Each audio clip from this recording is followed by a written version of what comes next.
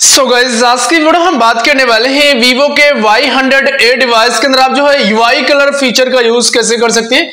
Well guys जिससे क्या होता है कि आप अपने कंट्रोल सेंटर के कलर्स इवन फ़ोन का जो सेटिंग्स है उसके आइकन्स वगैरह के कलर्स को आप चेंज आउट कर पाएँगे। सो so, सेटिंग्स काफ़ी इंटरेस्टिंग है सो so, एंड तक वीडियो को देखना मैं आपको प्रॉपर यूआई कलर का यूज़ दिखाता हूँ ताकि आप भी अपने कंट्रोल सेंटर और सेटिंग्स के कलर्स वगैरह को चेंज कर सकें। वेल गाइस यहाँ पर यूआई कलर को एक्सेस करने के लिए सबसे पहले ओपन करेंगे हम अपना फ़ोन सेटिंग्स सेटिंग्स को हमने ऑलरेडी ओपन करा हुआ है। स्क्रॉल डाउन करके नीचे आना है।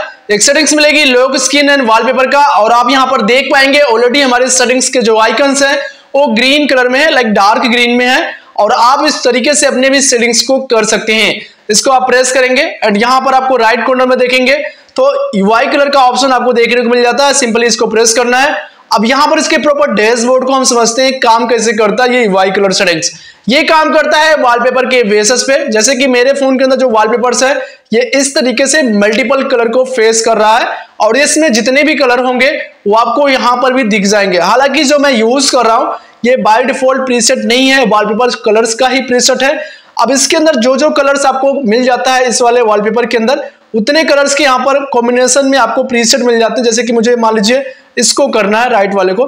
इसको हम कर देंगे हमारे सेटिंग्स वगैरह के कलर्स जो है, वो प्रॉपर चेंज हो जाएँगे। अब देखो यहाँ पर जो ऑप्शन इनेबल है लाइक दैट मैं यहाँ पर बहुत सारी चीज़ें ऑन कर देता हूँ।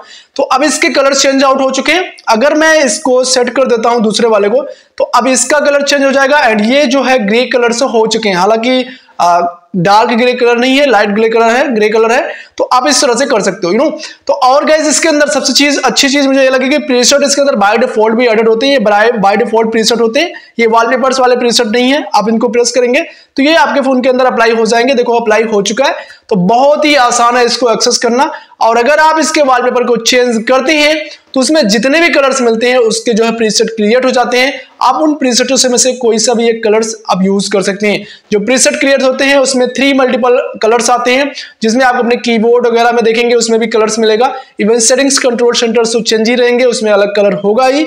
बट ये चीज़ें आप एक्चुअली में यूज़ करेंगे तो देखने में काफ़ी ब्यूटीफुल लगेगा। आई थिंक गाइस समझोगे कैसे यूज़ करना है वाई कलर सेटिंग्स का। फिर भी कोई कंफ्यूजिंग होती है, इसके रिगार्डिंग कमेंट सेक्शन नीचे है, आप हमें कमेंट करके पूछ सकते हैं।